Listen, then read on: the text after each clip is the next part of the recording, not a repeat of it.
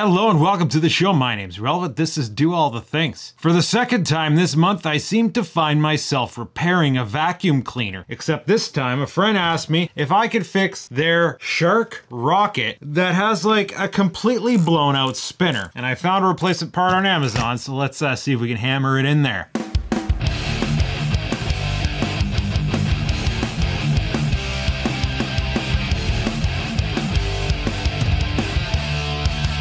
Some of y'all be looking for a how-to, want me to skip the TLDR. In that case, we know we can press this button here and that part pops right off, which make it a lot easier to fix on. So what do we have here?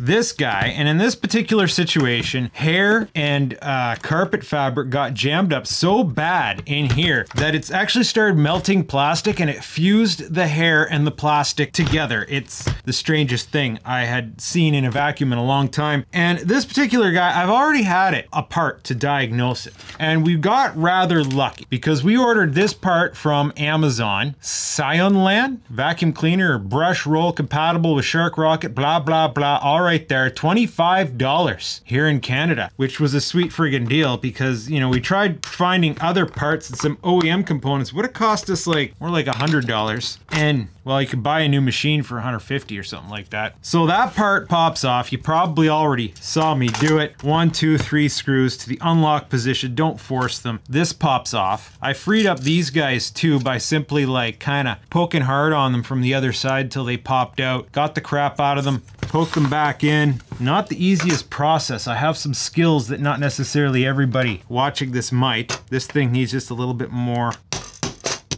Tools you'll need to start off with, I have a 1 8 punch. No, a 3 32nd punch. You'll see why in a bit. Here we have a Torx driver. Mine says T15 or is it T1.5 by 4 inches? Yes, T15. Now, uh, the screws on this are security screws, which means they got this little pip in the middle. So you need a bit or a driver that has the hole in the middle. Now, for a majority of these screws, you kind of get lucky because I found that they had just enough bite, even with that little pip in there, that I could undo them. So we have one, two, three, four, five, six, seven of these in particular. They look about half inch screws that we have to take out. And while you're taking them out, be sure to check the length of them. One of them is longer than the other. Once you find that one that's longer, label that hole. You want to make sure. These screws are all pretty much the same, except for this one here. At least that's where I got it. That's where I thought that one went. I could be wrong. So pay attention when you take yours apart. But that one still has the security pip on it. And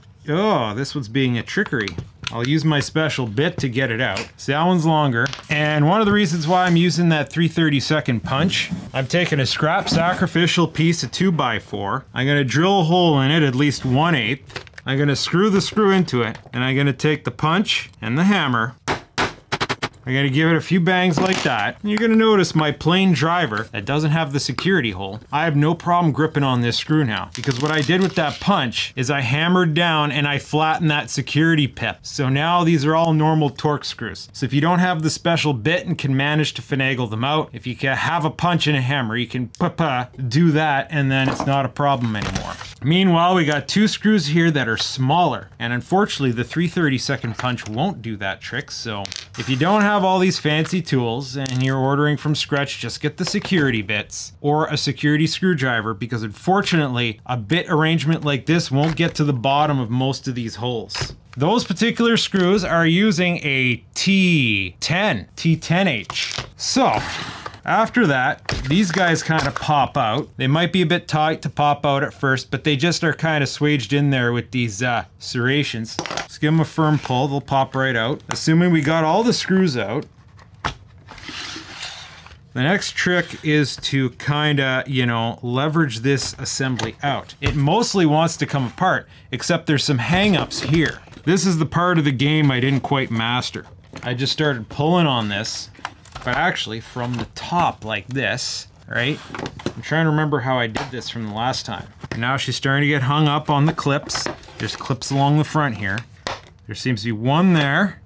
And it's tricky because that little ridge you see there is not where you have to pry. It's kind of in between. See right there like that? Try to catch that edge, bring it around. There we go. It should be released now. So that's the hardest part of the process, honestly, prying that thing out. Now we have a, a little wire here, so as you're prying this out, don't yank hard. It just unclips, so that's okay. Uh, here we see some attempts I made to fix it. Um, yeah, that, that's what's left of the roller's inner bearing. Now we have a belt assembly here. Slip that off. Getting this piece out is one of the next challenges. We have a hole here. You gotta find a little screw with a point on it, like a wood screw or something. I'm gonna try using one of these smaller screws that I got out of these holes. Now, assuming you're completely replacing this part, you don't have to worry about damaging this really. And even if you are reusing the same part, you can't damage it too much by driving a screw into there. But by driving a screw into there, it's gonna give you something to leverage against. Now, busting out another one of my specialty tools, I do have a mini pry bar, and I can kinda yank on it like that. So look at that. Abso-freaking-lutely chowdered. She's a no-go, bud. She's done. So now let's check this, out. we'll do a little bit of an unbagging here, unboxing. The part from Amazon. X039WVDBC, Solian, Scionland, Scionland. So it um, kind of agrees. Do they give us a part number here? They have an ASIN, an ASIN. No, they don't really say the specific part number here. But I do believe if we searched for this ASIN number, which appears to be B0B38G7XGY, pop that into the Amazon search, and it's gonna come up first bang. Let's take a look at this. Yeah, I guess it's lighter. This one's heavier. Whether that's good or bad, I'm not sure. Oh, you got a nice bearing out of the deal if you can pull that off, repurpose it for something else.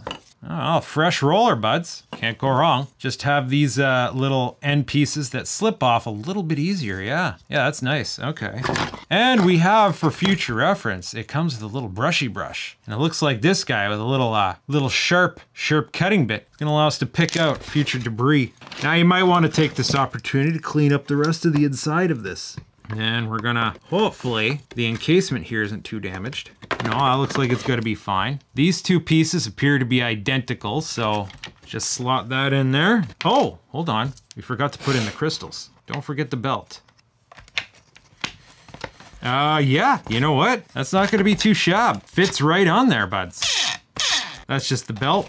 And our belt, we could just kind of get around the, uh, oh, a little tighter tighter. Is this uh, is this sprocket on here a bit bigger? Ultimately, it's gone back on. Oh, look at that. Gates. Frick, that guy's got his fingers in every pie, I tell you what. God forbid you have hair building up in your motor. You might want to check that out. Oh yeah, oh yeah. Okay, it's a good thing we're getting at this. now we need to uh, engage in some inception. When you vacuum clean a vacuum cleaner, you become a vacuum cleaner. This is where having old toothbrushes come in handy.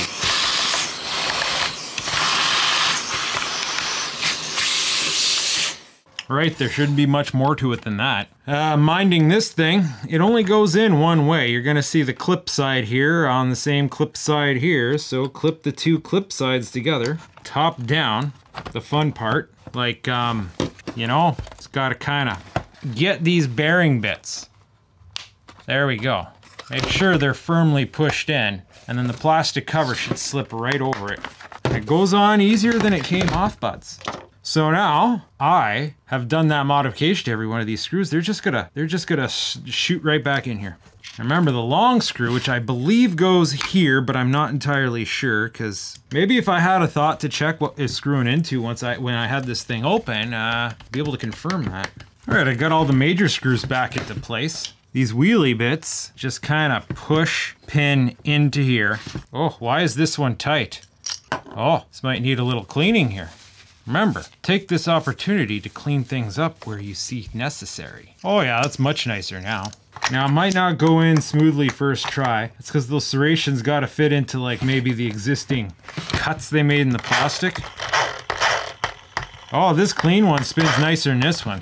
I gotta double check this one before I button it up. Things like this shouldn't really need lubricant. They're not working hard enough. I mean, these specific parts. I don't know about the rest of the vacuum. Oh yeah, way nicer. Once we got the wheels back in place, we make sure to uh, put these screws back in.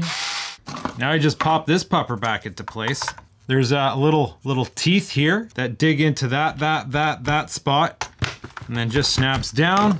Adjust these to the locked position, which is just like a quarter turn, bud. Quarter turn till you hear the, the snap, but not, again, we're not forcing it.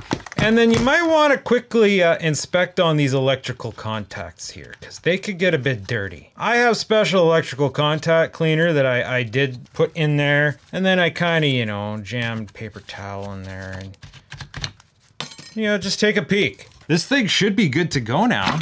Let's test on it.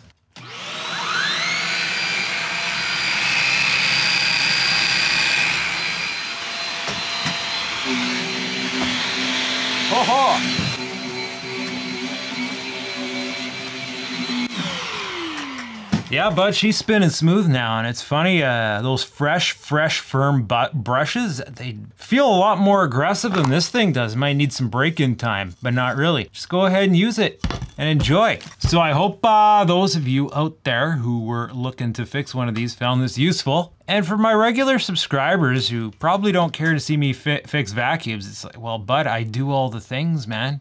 I don't know what to tell you. This is what came across my desk today, buds. Stay tuned to find out what I do next.